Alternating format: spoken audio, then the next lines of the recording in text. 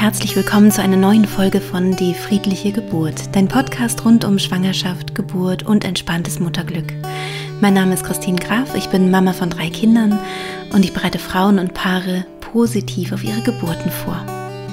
Wenn dies die erste Folge von meinem Podcast ist, die du hörst, dann kann ich dir nur empfehlen, mit den allerersten zu beginnen, also mit Folge 0 bis etwa 3 oder 4, damit du die Hintergründe schon kennst von meiner Methode und ähm, dem, was ich hier so erzähle. Und dann wird einiges klarer, auch in der heutigen Podcast-Folge, denn die heutige Folge baut ein bisschen darauf auf. Wenn du noch tiefer einsteigen möchtest, dann schau gerne auf meiner Website vorbei, die auch die friedliche Geburt heißt. Und wenn du magst, kannst du gerne in den kostenlosen Schnupperkurs hineingucken, ob vielleicht die Art der Vorbereitung, wie ich sie mache, für dich passend ist. Heute soll es darum gehen, dass es sinnvoll ist, meiner Meinung nach, die Geburt zu proben, eine Art Generalprobe zu machen für die Geburt, beziehungsweise das vielleicht sogar auch häufiger zu tun. Ich wünsche dir ganz viel Freude beim Hören.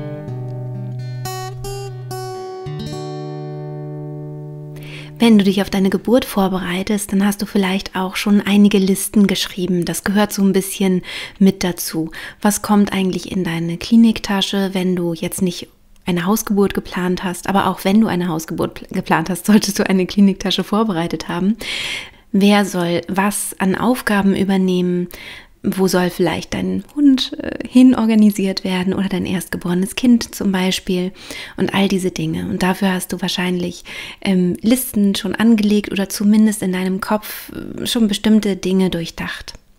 Wenn du dich mit einer Entspannungstechnik vorbereitet hast, wie zum Beispiel der Hypnose, dann ist es nochmal anders wichtig, dir die genauen Abfolgen der Geburt vorzustellen und auch mögliche Hürden. Angenommen, du hast vor, in einer Klinik ähm, bei dir im Ort dein Kind auf die Welt zu bringen dann ist es sinnvoll, dass du innerlich einmal durchgehst, was brauche ich eigentlich alles? Was für Schuhe ziehe ich zum Beispiel an? Welche Jacke möchte ich anziehen? Ähm, wird ein Taxi gerufen? Brauche ich eine Babyschale? Das sind dann wieder so diese organisatorischen Sachen wie auch, was gehört in die Kliniktasche rein? Ne? Aha, ich brauche auch eine Babyschale, weil das Kind muss ja hinterher dann auch zu mir nach Hause transportiert werden können und all diese Dinge. Und nun gibt es eben auch Sachen, die so wirklich dich betreffen. Bei der Methode, die ich beibringe, die eben auch auf Hypnose beruht, ähm, ist es so, dass du dich in deinen inneren Raum zurückziehst und so wenig wie möglich ins Denken kommen solltest bei der Geburt. Das erkläre ich eben, wie gesagt, auch in den allerersten Folgen, aber auch alle Folgen, die so mit Sternchen gekennzeichnet sind, sind ähm, wichtig, um zu verstehen, was ich hier meine. Also der innere Ort ist hier ganz entscheidend, ähm, dass du nicht so sehr in den Kontakt nach außen gehst. Das heißt, wenn du nicht weißt, welche Jacke du anziehst, wenn du dich auf den Weg in die Klinik machst und du bist aber schon mitten unter Geburt, denn normalerweise gehen wir nicht zu Beginn der Geburt in die Klinik, außer wir haben zum Beispiel eine Geburtseinleitung oder wir haben vielleicht mh, mm, einen Blasensprung gehabt und äh, die Wellen haben noch nicht richtig begonnen, sondern ähm, lassen noch ein bisschen auf sich warten und man möchte das abklären lassen oder so. Normalerweise ist es so, dass du dann in die Klinik gehst oder ins Geburtshaus aufbrichst, wenn deine Geburt schon in vollem Gange ist. Also wenn dein Muttermund schon wirklich ein gutes Stück auch sich hat öffnen können. Das heißt, die ganzen ersten Etappen der Geburt machst du ähm, alleine zu Hause oder eben mit deinem Partner, deiner Partnerin zu Hause. Und jetzt ist also sozusagen deine Geburt schon so im Gang und die Wellen, die Kontraktionen, die sind schon so intensiv, dass du wirklich deine ganze Konzentration dafür brauchst, um die gut meistern zu können. Und wenn du jetzt ähm, nicht genau weißt, und zwar unbewusst auch weißt, was kommt jetzt wann, kommst du halt schnell wieder in das Denken hinein, was dich aus dem hypnotischen Zustand rausziehen könnte. Und das ist so ein bisschen die Gefahr. Also unser Gehirn ähm, ist in gewisser Weise in seiner Aktivität heruntergefahren, wenn wir in Hypnose sind. Du bist eher mit älteren Hirnarealen verbunden, dadurch auch sehr gut mit deiner, in, mit deiner Intuition verbunden, zum Beispiel mit deinem Instinkt, was super ist für die Geburt. Ähm, und das sogenannte Säugetierhirn, das limbische System, ist sehr aktiv. Und die Großhirnrinde, das, das jüngere Gehirn und der präfrontale Kortex, der vor allem ja fürs Denken, Planen und so weiter zuständig ist, der sollte in seiner Aktivität eher ein bisschen runtergefahren sein. Also das, um das mal schnell nochmal zusammenzufassen, was so in den ersten Folgen ähm, auch erklärt wird, also was der Hintergrund auch dieser, dieser Methode ist. Das heißt also, du bist mehr Säugetier, als dass du ähm, ähm planender ähm, Homo sapiens bist, ein planender Mensch bist, der jetzt ähm, eben überlegt, welche Schuhe ziehe ich an oder welche Jacke. Wenn du das alles vorher gut durchdacht hast, du weißt genau, wo die Sachen sind, dann musst du deinen Verstand dafür nicht bemühen, um dich anzuziehen oder so, weil das instinktiv sozusagen weißt du, wonach du greifst. Oder du hast deinem Partner oder deiner Partnerin vielleicht gesagt, sie sollen dir genau diese Sachen rauslegen oder so. Das wäre halt zum Beispiel ganz wichtig, dass du diese Dinge vorher dir ganz genau überlegst. Also nicht nur so grob, ja, dann fahren wir, rufen ein Taxi und fahren nicht mit dem eigenen Auto, das wäre eine grobe Überlegung, sondern dass man wirklich genau überlegt, wie ist das dann ganz genau, wie komme ich denn aus meiner Wohnung oder aus meinem Haus dann zum Taxi oder zum Auto hin. Ähm, wer trägt was? Trägt mein Partner, meine Partnerin vielleicht die Kliniktasche, dass ich mich gar nicht mehr darum kümmern muss oder schnapp ich sie mir schnell oder wie, wie wollen wir das eigentlich handhaben? Denkt daran, dass du wahrscheinlich eben schon sehr weit fortgeschritten bist in der Geburt. Das heißt, wenn du es mit einem Hochleistungssport vergleichen würdest, vielleicht mit einem Marathon, das mache ich ja total gerne, bist du vielleicht schon bei Kilometer 25. Also du bist wirklich schon richtig, richtig ähm, in deiner sportlichen Konzentration. Und von daher ist es natürlich toll, wenn alle möglichen Dinge ähm, äh, ja dein Partner oder deine Partnerin eben im Kopf hat, ne? Oder deine Dula vielleicht, die du an deiner Seite hast. Also dass du jemanden hast als Geburtsbegleiter oder Geburtsbegleiterin, der oder die sich um diese äußeren Dinge gut kümmern kann.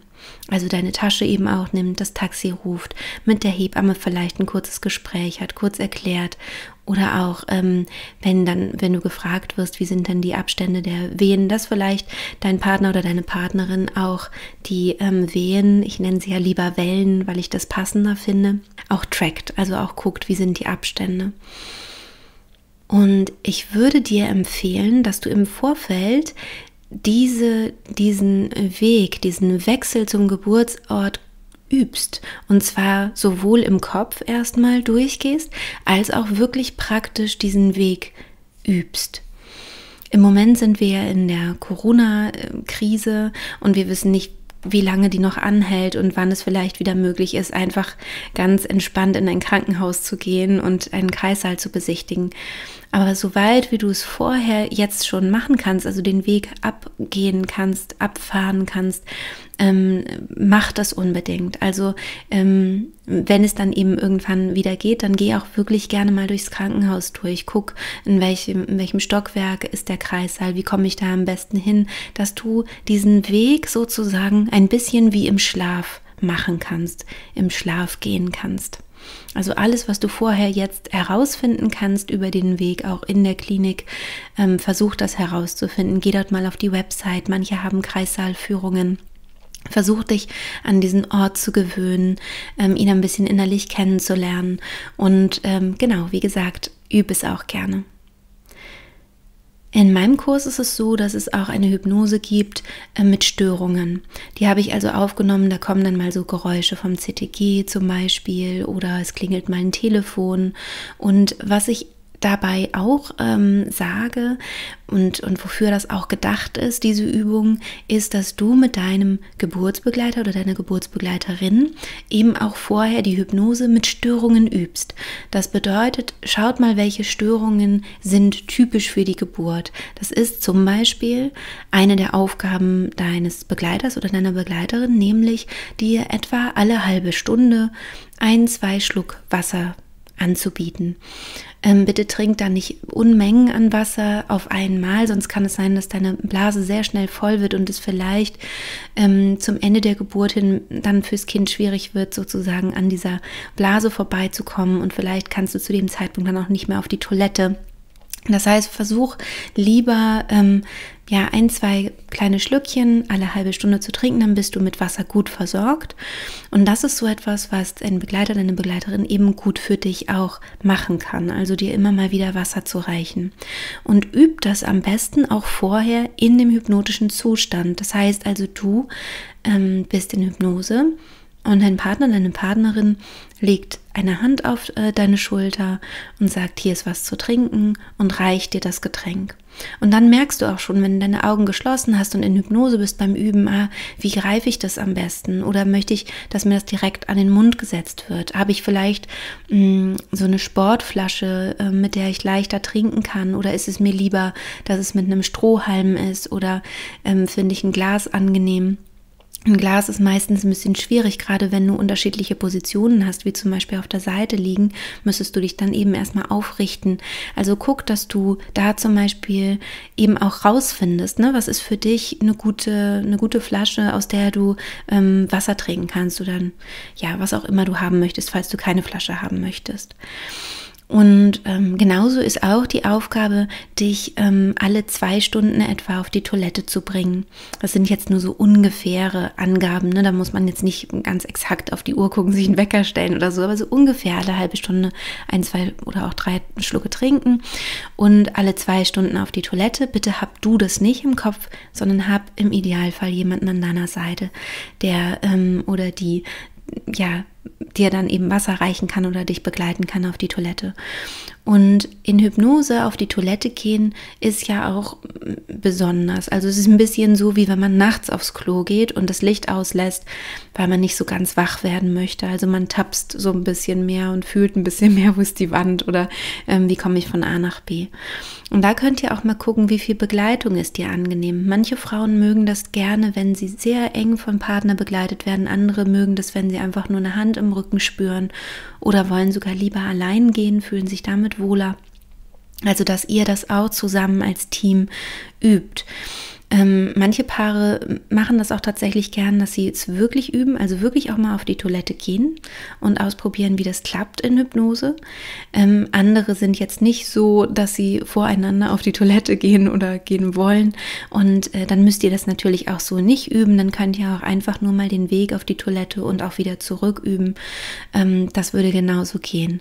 Und dann könnt ihr eben wirklich auch mal diesen Weg als Generalprobe machen. Also das heißt, du gehst in den Zustand tiefer Hypnose, den du eingeübt hast es gibt unterschiedliche Möglichkeiten, wie du den trainieren und üben kannst. Ähm, ich würde empfehlen, dass du dir dabei helfen lässt, wenn du jetzt nicht selbst Hypnotherapeutin bist. Also, dass du einen Kurs machst und da gibt es unterschiedliche Angebote. Ähm, dass ich einen Kurs anbiete, weißt du sicherlich und es gibt natürlich auch andere, ähm, die auch tolle Arbeit machen. Aber dass du irgendwie ein Handwerkszeug hast, einen Weg hast, den du zu Hause vorher übst und wie du das dann eben auch umsetzen kannst bei der Geburt. Und so machst du das dann genauso, wie du es vorher geübt hast, dass du dich in Hypnose hinein ähm, versetzt, also dich hinein entspannst und dann übt ihr den Weg. Also ähm, ihr ruft vielleicht tatsächlich mal ein Taxi und dann guckt ihr eben, ähm, wie, was ziehst du an, wie ziehst du es dir an, was kann dein Partner, deine Partnerin dir reichen, ähm, was stört dich, was stört dich nicht. Das kannst du auch gerne dann im, im Nachhinein auch äußern. Darum geht es auch ganz stark, dass ihr auch so in die Kommunikation kommt, wie, wie ist es dir eigentlich am angenehmsten, auch so begleitet zu werden. Und wie kommst du dann eben aus deiner Wohnung raus, aus deinem Haus raus? Wie ist das dann für dich, in diesem Zustand der Trance auch ähm, ins Auto zu steigen? Wie ist es mit dem Anschnallen? Dass du immer so die Gedanken dazu denkst, ein bisschen, ah, so ist das dann bei der Geburt, ah, so klingt das dann, so riecht es dann vielleicht, ähm, das, das, das höre ich, das nehme ich wahr, das fühle ich auf der Haut. Also, dass du so ein bisschen ähm, in diese Sinneseindrücke versenkst und dir das besonders wahr, also klar machst. Du kannst auch gucken, was nimmst du um dich herum wahr, Ähm, aber geh nicht so stark in die Kommunikation nach außen, sondern bleib ein bisschen bei dir und fühl mehr rein, wie sich was anfühlt, anhört, anspürt. Und dann eben auch, wie ist es, wie komme ich wieder aus dem, aus dem Auto raus? Wie ähm, sind dann diese Schritte? Wie ist der Weg? Wie weit ist es auch, bis ich vor der Krankenhaustür stehe? Und im Moment bei Corona kann es eben gut sein, dass du vielleicht nicht ähm, reingehen kannst, aber vielleicht kannst du einen Blick reinwerfen und sagen, ah, okay, und hier beginnt dann ein bisschen das Abenteuer. Ich werde hier aber ein bisschen auch gelenkt und geführt. Ähm, mein Partner, meine Partnerin kann vielleicht gucken, wo es auch lang geht. Oder vielleicht kann ich auch im Internet da irgendwie eine Wegbeschreibung finden, kann ich schon sehen, es ist in dem und dem Stock.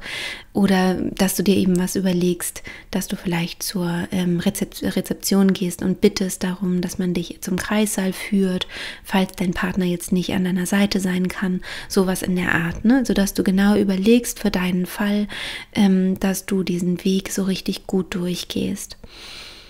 Und das kannst du gerne auch häufiger machen. Also das muss nicht nur einmal passieren, das kannst du auch zwei oder dreimal machen. Und gerade auch dieses Üben zu Hause, dass ihr übt, gemeinsam miteinander die Kommunikation zu gestalten. Also dass ihr möglichst nonverbal kommuniziert, dass du zum Beispiel nur die Hand reichst und dann weiß man schon, ah, du möchtest jetzt was trinken zum Beispiel.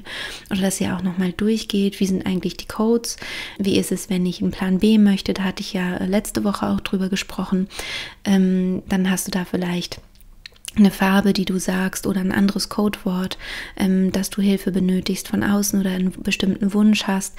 Also guck, dass ihr so ein bisschen miteinander übt, in Kontakt zu gehen und nonverbal auch zu kommunizieren und übt gerne innerlich ähm, immer wieder den Weg ähm, in den Kreissaal, bis du dann eben wirklich angekommen bist und übt den gerne auch ein Stück weit in der Realität.